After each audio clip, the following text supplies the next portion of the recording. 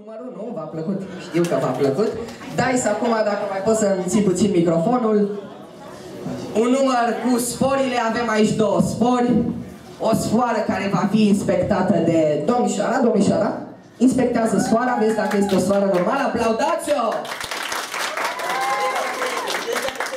Și încă o sfoară, nu, nu se rupe, e solidă, poți să o verifici. Și încă o sfoară la mine în mână.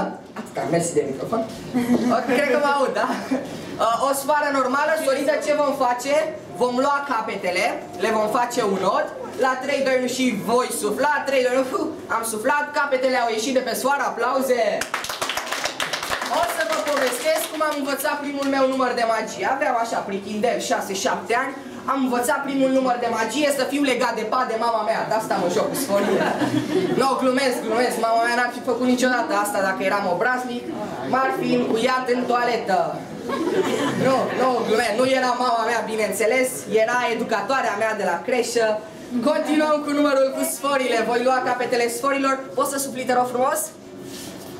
Din nou a devenit o sfoară solidă. Aplauze pentru domnișoara.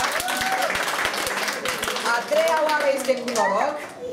Vom lua capetele sforii. Uh, vă rog, voi face un de aici. Strângeți cât puteți dumneavoastră de tare. De cele două capete, strângeți tare, tare, tare. Sunteți sforțoasă astăzi. Mulțumesc frumos, mulțumesc.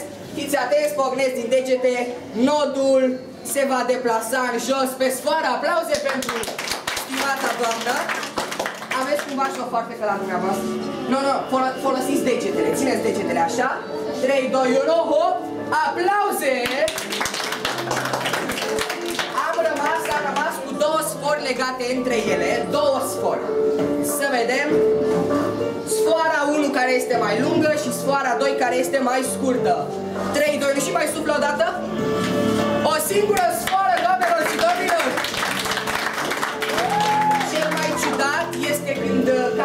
călătoresc, da?